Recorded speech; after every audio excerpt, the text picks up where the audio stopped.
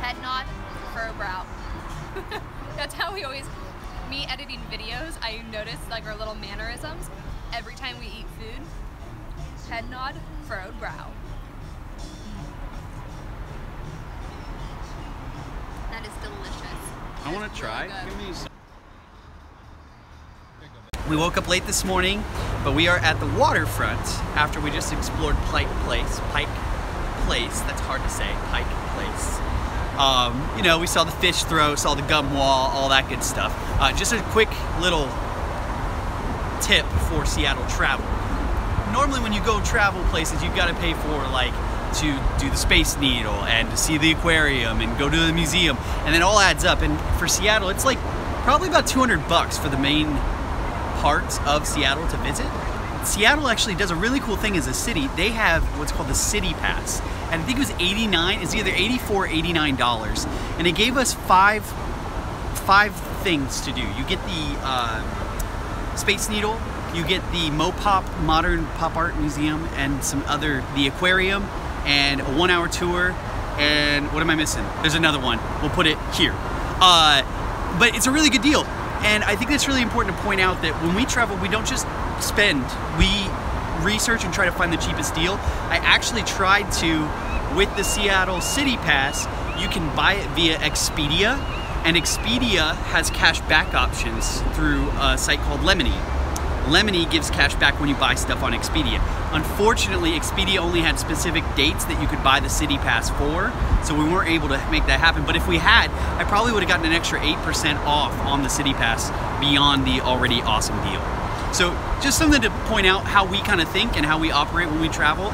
We aren't just blowing money like crazy. We got to pay off student loans. So this is uh, this is the secret to our success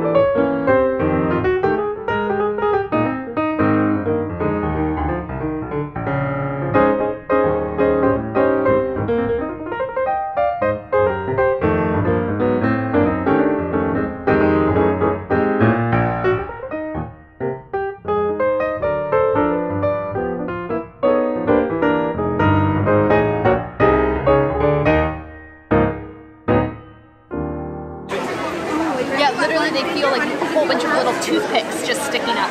And when you touch them, they all kind of go towards your finger and like touch fingers with you.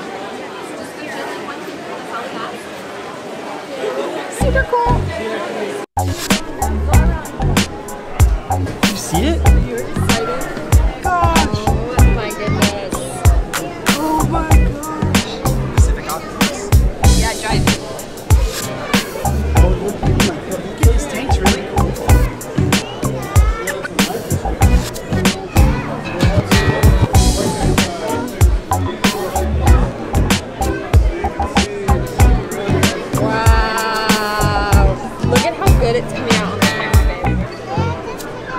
Babe. I mean, I'm getting good photos too. I believe it. about two years old and about 45 pounds. Oh Um, so he is not full grown. Um, at full, full grown, he'll be 60 to 90 pounds, probably closer to the 90 end. Um, he's growing pretty quickly. Um, he's our only octopus on display right now. We did have two. Um, we're checking Xena for signs of possibly getting ready to breed, so we want to release her before then.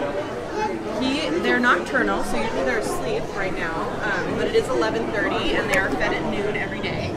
So they might be getting a little excited.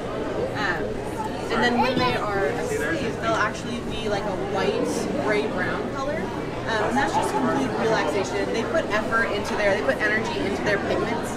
Um, so if you see him bright red, he's means he's awake and he's putting energy into that. This is a beak replica also.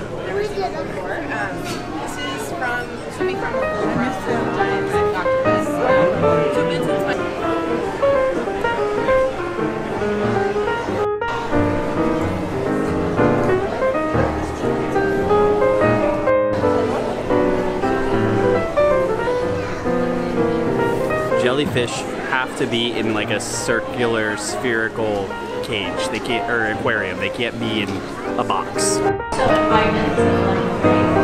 Again, at 11:40, there's two presentations. We have sea otters in building two. up a really cool room. This is awesome. I'm Look at the sturgeon.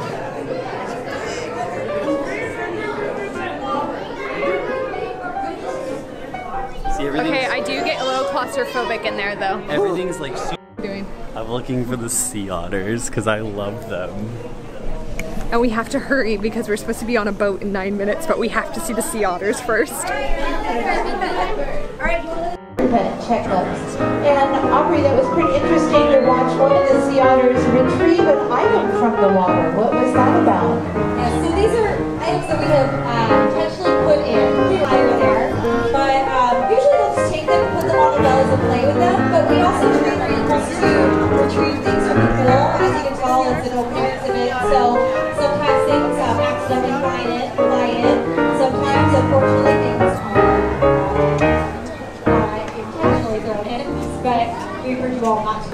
All right, well, what a great demonstration of the intelligence of that way bigger. other mammal, the sea otter, working They're with the way human bigger than I thought they were gonna be. They're like the size of a small child. Asking those They're huge.